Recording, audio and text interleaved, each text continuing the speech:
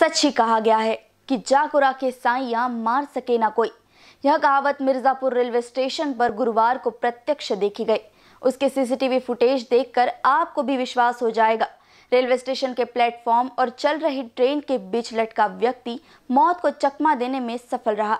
मौत उसके बगल से गुजर गई और उसे खरोच तक नहीं आई। दिल्ली हावड़ा रेल मार्ग पर रोज की तरह दौड़ने वाली नंदन कानन एक्सप्रेस दौड़ रही थी। ट्रेन गुरुवार को मिर्जापुर रेलवे स्टेशन के प्लेटफॉर्म नंबर एक पर आकर रुकी, जब आगे बढ़ना चालू ही किया था कि एक व्यक्ति सामान लेकर दौड़ा। बोगी में वह फेंकने में सफल रहा। इस बीच पैर फिसलने से वह गिरकर ट्रेन और प्लेटफॉर्म के बीच फंस गया। आरपीएफ जवान धर्मेंद्र मिश्र ने तत्परता से उसका हाथ पकड़ लिया। ट्रेन आगे की ओर रेंगती रही और उसने उसे दिलासा देते हुए पकड़ रखा था। देहात कोतवाली क्षेत्र के धौरपुर निवासी व्यक्ति की जान आरपीएफ जवान की सजगता से बच गई। और लोगों को सतर्क भी किया जाता है कि चलती गाड़ी में आप कभी ना चढ़े।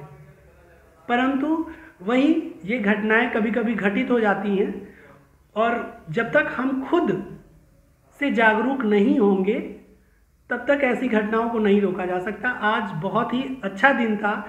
कि हमारा सिपाही उसको बचा लिया। नहीं तो उसकी जान एकदम खतरे में थी, उसे कोई नहीं बचा सकता था। और जिस तरह से धैर्य का परिचय देते हुए हमारे सिपाही ने ये कार्य किया इसके लिए बहुत सराहना इधर उधर से यात्रियों द्वारा भी की गई। मिर्जापुर से अजय दुबे की रिपोर्ट।